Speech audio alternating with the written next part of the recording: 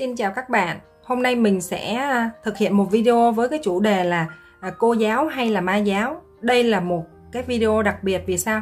Vì cái video này mình làm thực hiện do thân chủ của mình đến tư vấn với mình, à, gia đình của họ đến tư vấn với mình mà đang nói về một người thứ ba là cô giáo.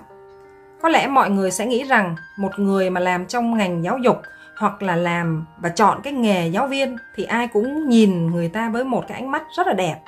Vì người đó mang lại những cái kiến thức à, cho đời mang lại những lời hay ý đẹp để mà dạy dỗ một cái tầng lớp một cái thế hệ mầm non hoặc là những cái người mà mới bước vào đời hoặc là dạy những cái ngành nghề mà những người khác đang cần tìm hiểu để nâng cao kỹ năng trình độ cho cái nghiệp vụ chuyên môn của mình ai cũng nhìn người nhà giáo thầy giáo là cái điều tốt đẹp vì họ là những người có kiến thức có cái sự trải nghiệm có những cái kỹ năng hay hơn những người đang đi học để mà họ rút ra những cái tâm huyết của mình để dạy những cái điều tốt đẹp cho những cái thế hệ uh, đang còn non trẻ.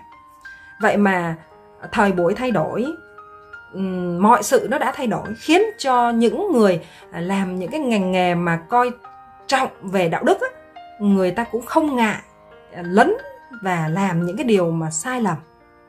Cô giáo đi dạy người ta làm những điều tốt đẹp nhưng không thể tự dạy mình được hai cái chữ đạo đức một cách đúng nghĩa nhất.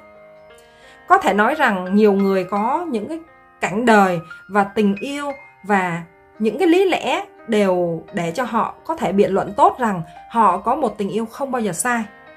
Nhưng đứng giữa cái cuộc sống này để phân định một hạt đậu trắng và hạt đậu đen, cho dù bạn có nói ngàn lời đi nữa mà cũng không thể nào thay đổi được.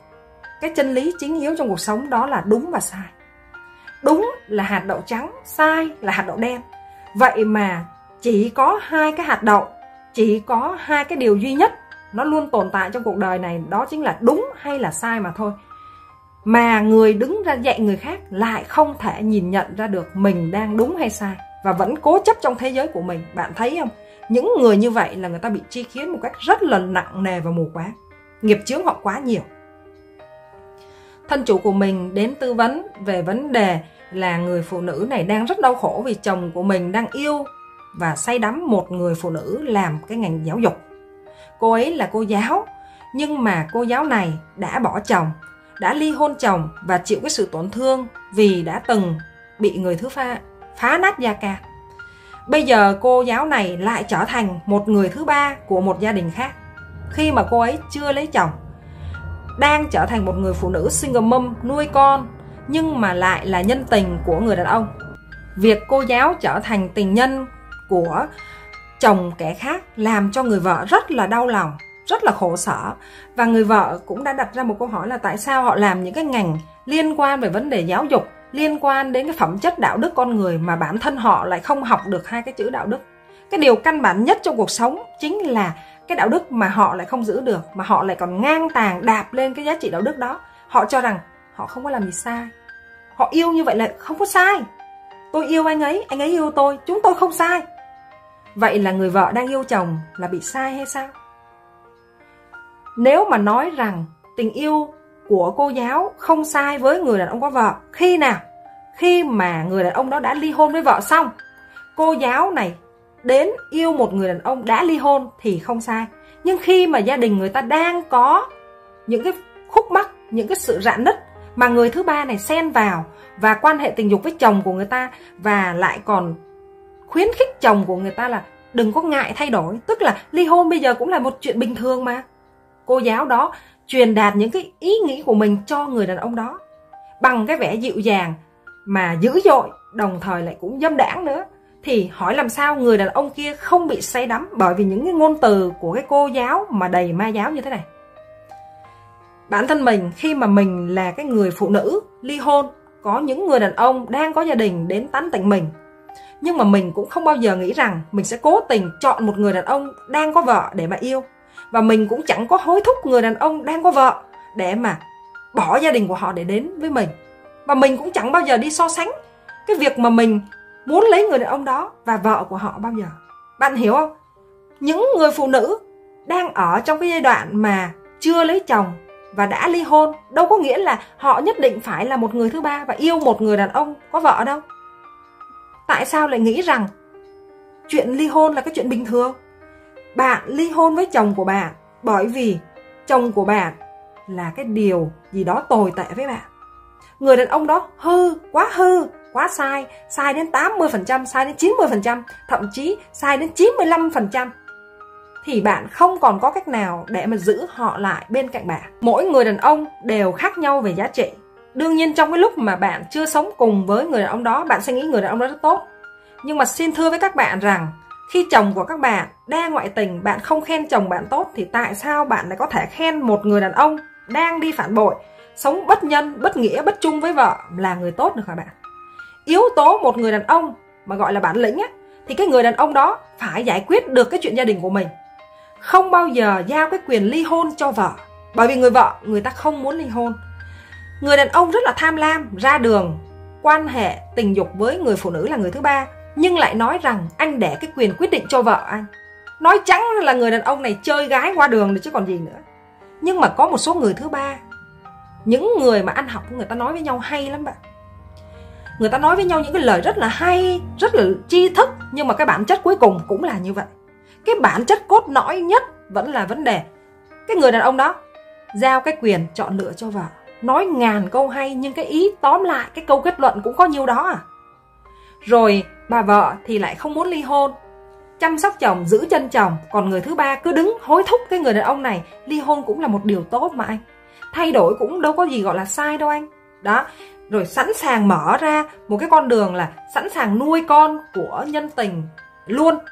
Trong khi đó là con của mình thì đang nhờ cha mẹ nuôi. Một người đàn ông tốt, người ta không bao giờ mở lời để mà đi sống thử với một người đàn bà mà nếu một người đàn bà sống trong một gia đình mà giáo dục chuẩn mực, có cha mẹ sống cùng thì không cho phép con mình đi yêu một người đàn ông đang có vợ. Cái vấn đề là có những người đàn ông không nhìn nhận ra vấn đề này, mà vì yêu, mù quáng, không nhìn ra được bản chất của sự việc. Nếu mà nhấc mình ra khỏi cái cuộc tình đó, đứng ở cái vị trí quan sát thì bạn sẽ nhìn thấy rất là rõ vấn đề này.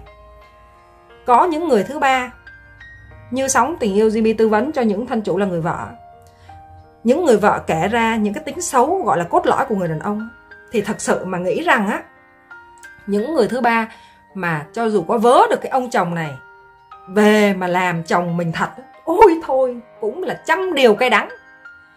Bởi vì người vợ, người ta có con với chồng, người ta, nên là người ta mới cố, níu, cố giữ một cái gia đình cho nó khỏi phá nát. Bởi vì họ thực sự yêu chồng của của người ta. Còn người thứ ba thì muốn tranh chồng muốn công kích người vợ, muốn nói những cái điều mà tổn thương cho người vợ để người vợ buông tay. Nhưng mà người vợ thì tham gia vào một trận chiến, nhìn cái bàn cờ với cái thế như là thua đến 7 phần rồi, còn có 3 phần về phía tay mình thôi. Nhưng mà cái bàn cờ nó thắng hay thua, nó còn tùy thuộc vào những cái quân cờ, đi từng nước cờ nữa. Trong cái việc mà cuộc à, chiến tranh đi ha, mình nói về cuộc chiến tranh đi ha, mỹ với việt nam đó mỹ nó rất là mạnh việt nam tại sao thắng? Cho dù là mỹ có nhân đạo không đánh việt nam đi nữa, thì việt nam vẫn thắng, đúng không cái vấn đề tại sao việt nam thắng? Bởi vì việt nam kiên trì kiên trì và đánh du kích. Từ em bé cho đến bà già cũng đánh. Tức là sao? Họ xem cái việc mà chỉnh sửa cái cuộc hôn nhân như là cái việc mà hàng ngày họ phải làm. Họ đánh du kích. Mặc dù cái người thứ ba kia rất quyến rũ, rất là mở mọi con đường để đến với anh ta. Nhưng mà chưa sống thật thì chưa biết. Bạn biết không? Cái ma lực của cái vấn đề yêu nhau nó rất mạnh. Nhưng mà chỉ cần bạn kết hôn sau 3 tháng là mọi thứ nó đều chán ngắt. Nó trở lại cái vị trí quỹ đạo bình thường. Và lúc này lúc này đây mới là cái lúc mà khổ và mệt. Bản chất thật sự của con người nó mới hiện ra. Nhà giàu thì người ta vẫn biết khóc. Bạn có biết rằng nước mắt nhà giàu nó cũng đau như nước mắt của nhà nghèo không? Mặc dù cái khổ của nhà giàu, nó sướng hơn cái khổ của nhà nghèo đó, nhưng mà sống trong thế giới mà không có sự bình yên, không có cái nền tảng đạo đức mà hai người sống theo cái kiểu bất nhân mà đến với nhau thì cái quả nó là bất lợi. Bạn hiểu không? Nếu mà ai mà hiểu được cái ý này sẽ nhìn thấu được cái sự việc này. Một người đàn ông ngoại tình, bỏ vợ, rồi đến với nhân tình. Cái cô nhân tình thì thông dâm với người đàn ông đang có vợ, rồi hai người sát vào với nhau. Một thời gian sau, banh một thời gian sau bùng, một thời gian sau buông, một thời gian sau bỏ. Vì sao? Vì hoảng sợ. Cái lúc yêu nhau thì chưa hiểu gì về nhau hết. Cái lúc sống bên cạnh nhau mới thấy đau vì bản chất nó lòi ra, chán trường người đàn ông quay về với vợ thì vợ đã lấy chồng khác. Mà người đàn bà là người thứ ba thì lúc này bắt đầu rơi vào cái thế mắc kẹt. Vì có con, vì là mình đã ly hôn một đời chồng không ra gì rồi, bây giờ lại ly hôn một lần nữa thì cũng lại mắc kẹt rồi bao nhiêu áp lực người thứ ba lại lãnh lãnh. Có phải là nhân quả trả vay trong đời không? Nên á, những cái gì bạn không đạt được á, bạn cho rằng nó đẹp. Bởi vì sao? Bởi vì tiếc cho bạn á, là bạn chưa có thời gian sống lâu với nó. Bạn chưa hiểu về nó một cách đúng nghĩa, thì bạn sẽ thấy nó lung linh lấp lánh đấy. Nhưng khi bạn sống chung với nó một thời gian dài, bạn hiểu đúng về nó, bạn sẽ biết rằng nó không vốn đẹp như những gì bạn tưởng tượng đâu vì khi bạn yêu người ta, bạn không nhìn thấy những cái điều như thế. Nhưng mà khi bạn sống với họ thì những cái điều như thế, nó sẽ chế ngự, nó lòi ra và cuối cùng là nó tiêu diệt bạn. Bởi vì khi bạn sống với một người đàn ông, bạn yêu một người đàn ông, bạn chưa nhìn thấy cái điểm đen, điểm điên, điểm mà bạn sẽ có thể không sống nổi với họ. Thì bạn chưa có hiểu gì về người đàn ông đó đâu. Đừng có nói là tôi yêu người đàn ông đó. Đến mức mà cuồng si, tôi có thể đánh đổi tất cả mọi thứ để có được người đàn ông đó. Vậy bạn có nhìn thấy cái điểm xấu của họ chưa? Bạn có nhìn thấy cái điểm mà họ ngu si, họ đần độn hoặc họ điên nhất chưa? Chưa nhìn thấy thì chưa hiểu gì về người đàn ông đó. Đừng có lao đến cướp chồng của người ta khi mà bạn chưa hiểu gì về người đàn ông đó. Bạn hiểu chưa? Có rất là nhiều người thứ ba sai lầm trong việc mà cố cướp chồng của kẻ khác, nhưng mà rồi lại ôm hận vào thân. Bởi vì một người đàn ông mà đi ngoại tình thì rõ ràng cái yếu tố sai lầm trong người đàn ông đó là có là có những cái yếu tố sai lầm. Không phải là người đàn ông nào đi ngoại tình cũng là người đàn ông xấu, nhưng mà cái hành động của người đàn ông ngoại tình là hành động xấu rồi. Có những người người ta lấy rất nhiều vợ, nhưng người ta không có ngoại tình. Có nhiều người chỉ trích rằng, ôi, cái ông đó có nhiều vợ, quá, người đàn ông đó bậy bạ. Tôi không cho là như vậy. Cái người đàn ông mà rõ ràng ly hôn, sống một cách rõ ràng, yêu người nào, rồi không yêu nữa, kết thúc, rồi lấy vợ, rồi rõ ràng trong cuộc tình của mình thì không có lỗi. Chỉ sợ nhất là cái người đàn ông mà cái bề ngoài đạo mạo ai cũng đánh giá tốt hết á, mà tình nhân cả một đống thì cái kiểu người đó mang nghiệp và xấu xa hơn nhiều so với người đàn ông rõ ràng yêu thương hết yêu ly hôn và tiếp tục sống độc thân một thời gian là yêu ai đó rồi kết hôn họ có thể ly hôn nhiều lần, nhưng mà cuộc tình của họ là rõ ràng và không có gian dối. Và họ cũng không có ngoại tình và họ cũng không phải là đối tượng thông dâm với cái người đàn bà đang là cái người thứ ba đứng ở bên ngoài và mong người đàn ông bỏ vợ để đến với mình. Nếu mà bạn nói rằng gia đình của bạn là một gia đình có đạo đức, có học thức, có nhận thức tốt, nhưng mà cái điều bạn làm lại là phản đạo đức, phi đạo đức, thì bạn phải nhìn lại cái con người của mình để hiểu đúng những vấn đề của sóng tình yêu GB nói với các bạn không có nghĩa là lên án các bạn, nhưng mà thức tỉnh những người đang u mê, những người đang nghĩ rằng mình đúng nhưng mà thật ra là họ đang sai nhặt một hạt đậu đen với một hạt đậu trắng thôi, mà còn không biết hạt nào trắng, hạt nào đen thì người đó thực sự là u mê, bạn nhé rất là cảm ơn các bạn đã lắng nghe phần chia sẻ của Sóng Tình Yêu GB trong ngày hôm nay. Xin chào và hẹn gặp lại các bạn.